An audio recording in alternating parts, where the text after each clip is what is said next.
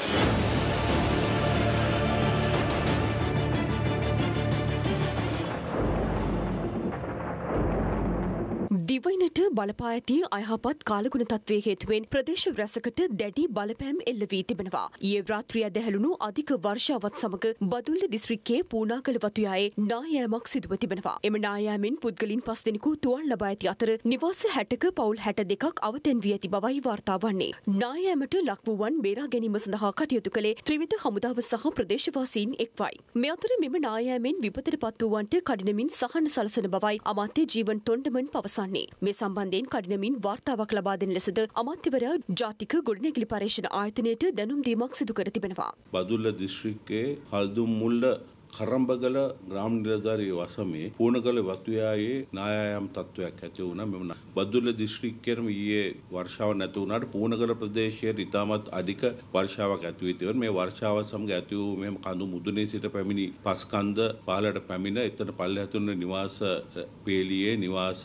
62ක් පවුල් 62ක් නිවාස 60ක් සහ පුද්ගලයන් 220ක් හානියට පත් කරලා තියෙනවා. සිදුවීමත් සමගම ආපදා කළමනාකරණ මධ්‍යස්ථානයේ සහ ත්‍රිවිධ හමුදාව පොලිසිය ප්‍රදේශවාසීන් ගම්වාසීන් සහ ඒ වත්තේ සිටින පුද්ගලයන් සමග එක් වෙලා අධික්ෂණිකව ක්‍රියා කරා. සුවසැරිය ඇම්බියුලන්ස් සර්විස් එකක් පැමිණ. ඒ අනුව තුවාලකරුවන් පස් දෙනෙකු රාත්‍රියේම කොස්ලන්ද රෝහල වෙත ඉවත් කරලා තිබුණා. ඒට ඒ අනුව මේ වන විට එම ස්ථානයේ සියලුම පුද්ගලයන් ආරක්ෂිතව එම ආරක්ෂිත ස්ථානයන් වෙත ඇතුළත් කරලා තියෙනවා. ඊයේ පස්වරුවේ ගල් පෙරලීමක් හේතුවෙන් වසා දමා තිබූ මහියංගනය මහනුවර දහට වංගු ප්‍රධාන මාර්ගය යළි ගමනාගමනයට විවෘත කර තිබෙනවා. වැල්ලවාය මොන්රාගල මාර්ගයට විශාල ගසක් කඩා වැටීමෙන් එහි ගමනාගමනයට බාධා එල්ල වී තිබෙනවා.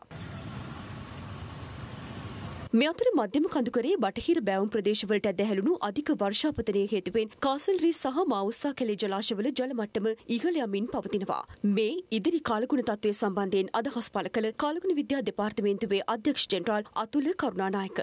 දිවයිනේ මේ දිනවල තියෙන වර්ෂාපතනය ගත්තම මෙය తాවකාලික වර්ෂාපතනයක් තමයි තියෙන්නේ. සාමාන්‍යයෙන් ඊයේ දිනේට සාපේක්ෂව අද දිනේ වර්ෂාපතනයේ අඩුවීමක් ඇතිව අපිට පේනවා ප්‍රමාණාත්මකව. කෙසේ නමුත් බස්නාහිර, සබරගමු, දකුණු සහ මධ්‍යම වගේ පළාත්වලත්, උතුරු මැද වගේ පළාත්වලත් විශේෂයෙන්ම සන්ධ්‍යා කාලයේ හෝ රාත්‍රී කාලයේ වැසි හෝ ගිගුම් සහිත වැසි තත්ත්වයන් නිර්මාණය වෙනවා.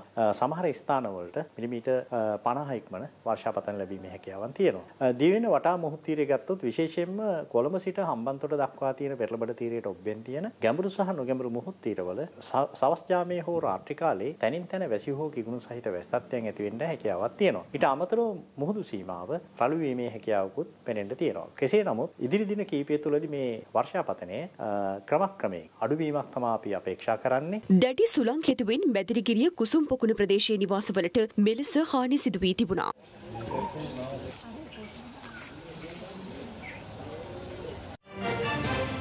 රටේ ලෝකෙ සිදුවන උණුසුම් පුව දැනගන්න සියත නිවස් YouTube channel එක අදම subscribe කරන්න.